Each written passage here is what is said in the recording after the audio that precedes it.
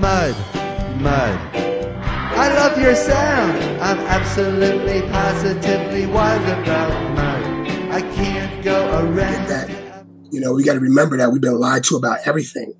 So when we hear us talk about these giants and see these depictions, you may go over on Martin's channel and you may see him talk about giants. I, look, I just scrolled through about a thousand images looking for this image of giants just now, just a second ago.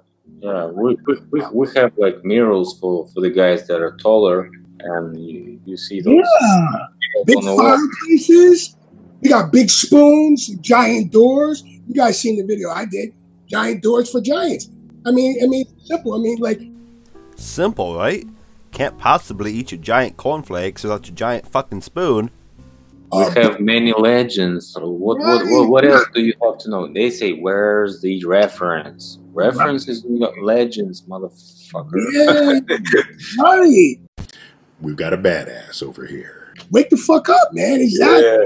It's not Open your fucking eyes. You can right. see. You can't just pick and choose what part of history that is real and fake, or what. Yes, yes, we can. That's what historians do. These griffins you keep showing in the pictures, they're fake. They didn't exist. You know what did exist? Actual history. How about you take half a second, open your eyes, maybe to a nice book on history, read something informative, something useful, and then you'll stop spitting, spewing, spreading shit all over the internet. Part of science, or you know, you, you know that you just pick and choose. It, it's all it's all lies. It's all lies. So you got to put all your cards back on the table. For sure, like totally. Fairy tales is okay because we have a fairy tale about magic pot of porridge, where porridge symbolizes the mud flood and flood is the city, right?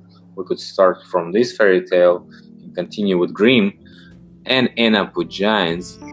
A fairy tale about porridge that symbolizes the mud flood that you have not talked about. By the way, just to remind you, this whole series has was supposed to be about mud floods, and I think they spent no time on it.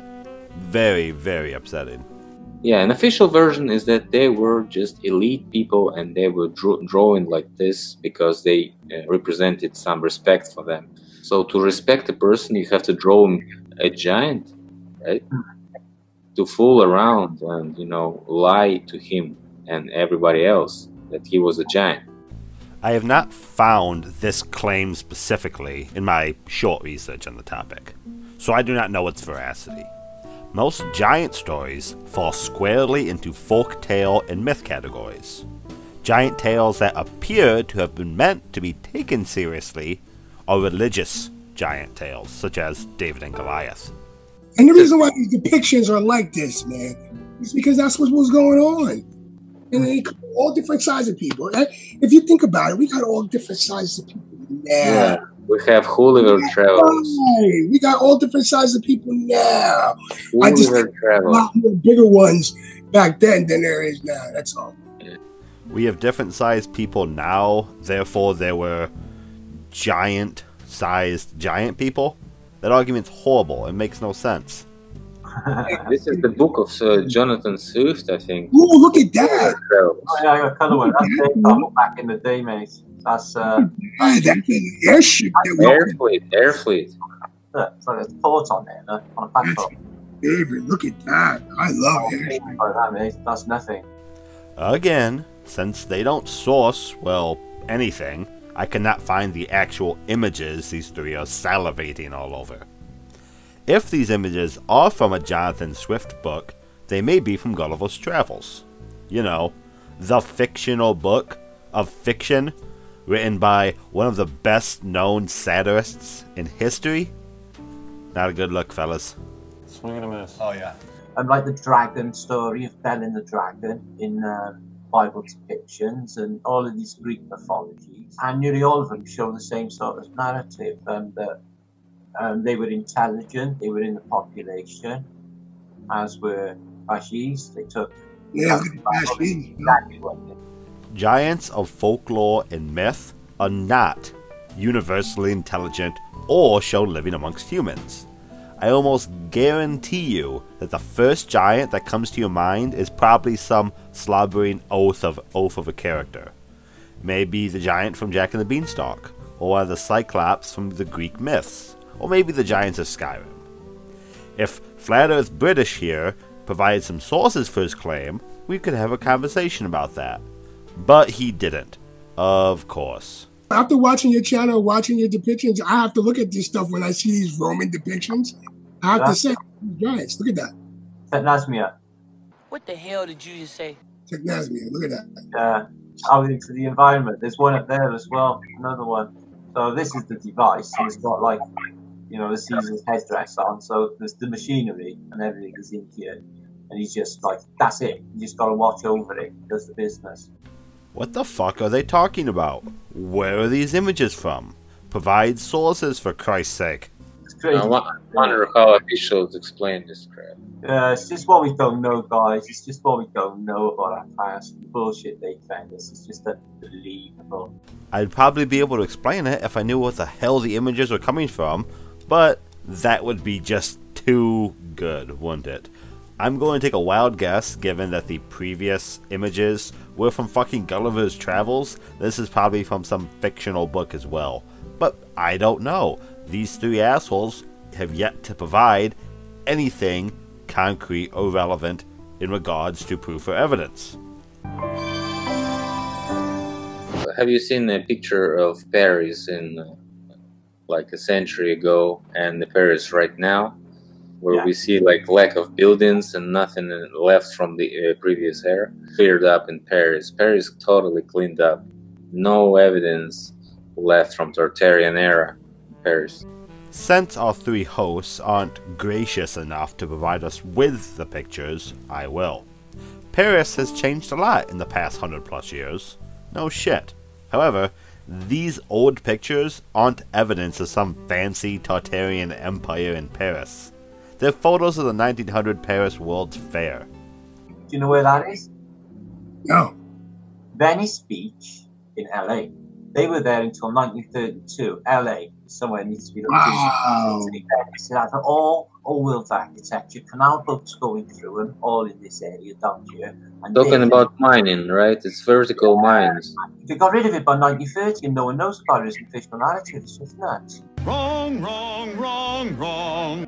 The Venice oil fields are not some hidden history. Just fucking Google it. The fields were tapped in 1929 and pumped out oil until 1942 when the shoreline wells finally dried up. Then they cleaned up the beach. This was not to hide some fictitious Tartar empire in California, but because the oil ran out. Wrong, wrong, wrong, wrong. Just imagine cleaning this crap with the Yeah, horses. No tech. What we've got here is failure to communicate. Digging it all out, even the underground systems. That's why they all sprung out exactly the same time. New York, Moscow, London, all of them, all early Victorian era, all this is laid down on what is an original. No, it's not, Flat Earth British. You don't know what the fuck you're talking about. The World's Fair that you talked about before, that took place in 1900. These Venice Beach oil platforms, they were moved from the 40s to the 70s, completely different periods of time. This isn't some mass fucking conspiracy. There, there is no conspiracy. You just. Why do I keep repeating myself? You're talking out of your ass. I wonder why why they started excavation only in the 20th century. These are giant ones, sure. Uh, Have you answered that questions? Why Roman uh, Ro- Rome was excavated only in Mussolini times? Rome was not excavated during the Mussolini times. That's completely fictitious. Rome itself is built upon layers of layers of layers of previous buildings of Rome. Rome built on top of itself. So it took a while to excavate deep down to find earlier and earlier buildings. A famous example of this would be the Roman Forum. The Roman Forum was rediscovered, if you will, in 1803 and then excavated over the next hundred years. Not during Mussolini's times. Because they didn't know about the Rome. they knew about the Rome, but it was fake, like Richard said. Right. Well, hey, look, there's evidence of Rome, but there's no evidence of a Roman Empire, man. I've been saying Oh, that. man, they're not on old maps. There's none of them on old maps. It's just so amazing what a quick Google search would do to disprove the copious amounts of bullshit spewed out by these three idiots. Roman maps exist, they're not highly detailed, they're not really high quality, and if you want to learn more about that, check the links down below, educate yourself a bit. But Rome existed, the Roman Empire existed, Roman maps exist, these things all exist. If only this Google program would function. Oh wait, it does function. It just worked for me. Why wouldn't it work for these assholes?